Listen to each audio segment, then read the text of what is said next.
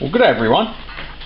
Um, I was just tearing apart an old microwave, and I thought I'd do a video um, simply because I've never seen one on YouTube. I'm sure there is one. I've never actually searched because it's not something that I'm interested enough to look up. Because I've had many of these devices apart um, in the past. These devices um, in question are the humble Micro Switch.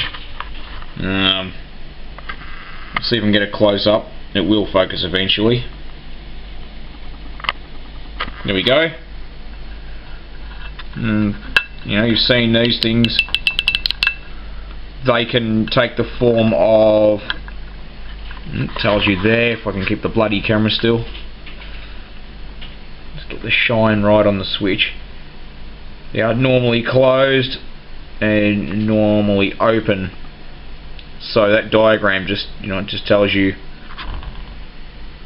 you know whether it's a normally closed or a normally open. It's telling me that this one is indeed a normally open uh, micro switch.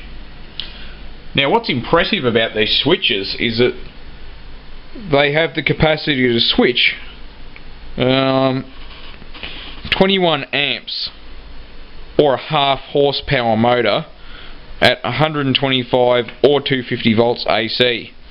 It will also switch 0.6 amp at 125 volts DC or 0.3 amps at 250 volts DC which is actually really impressive. Um, and, you know, in case you're wondering, so what? Well, just about everything in the home will have, well, maybe not everything, but, you know, a fair portion of um, electrical goods that you take for granted all the time are going to have a micro switch in it from this microwave oven here. You know, got them in the in the um, door switch there. You hear them clicking away. There'll be a couple. There'll be you know a couple of different lockouts. Um, this stove, when you push in these um, control knobs, it's got a micro switch on this gas valve. Um, so washing machines have them as a lid switch. Some of them use a reed switch, but the micro switches tend to be a lot more reliable, um, as Fisher and Paykel found out the hard way. Uh, most emergency stop buttons use a micro type of switch. Um, you know, it's like a momentary contact, normally open, normally closed, or some or type of switch. Um, most start buttons are, are a micro switch, so they're everywhere. So, given that they're so prolific in our modern life, um, and given that, like I said, they can switch, um, know, 21 amps at 250 volts, which is sounds like a lot of current, but there you go. It definitely says it there.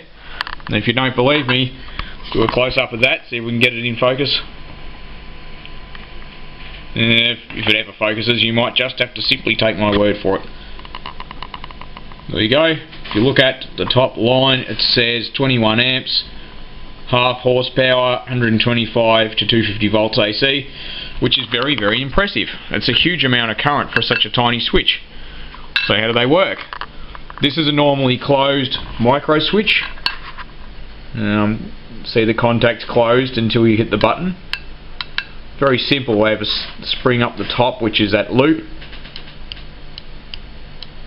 and they're basically very very digital like they don't really have a half sort of you know contact arcing position like you know a light switch you can often get it to arc if you really wanted to this switch um, if the camera's ever going to focus again this switch just is very very clean in its operation. So that's the normally closed one if the camera's ever going to focus again.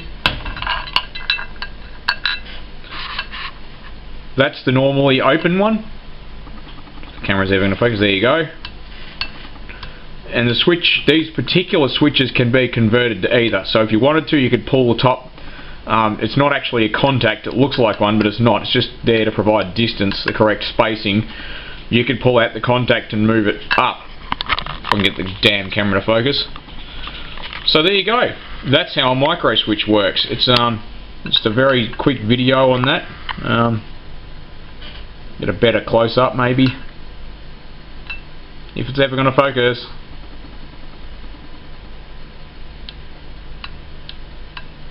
There you go, that's a micro switch. They can switch fairly rapidly as well. Um, very, very reliable. They don't really ever pack up. Um, and some of these switches, as evidenced by these slots here, you can have a strip of metal that sort of comes across that switch and and sort of hinged down like that, so you can sort of it's a bit hard to explain, but yeah, you would have seen them lying around washing machine lid switches use that arrangement. So there you go. Thanks for watching.